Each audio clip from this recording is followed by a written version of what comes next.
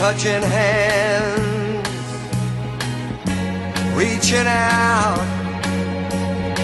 touching me, touching you.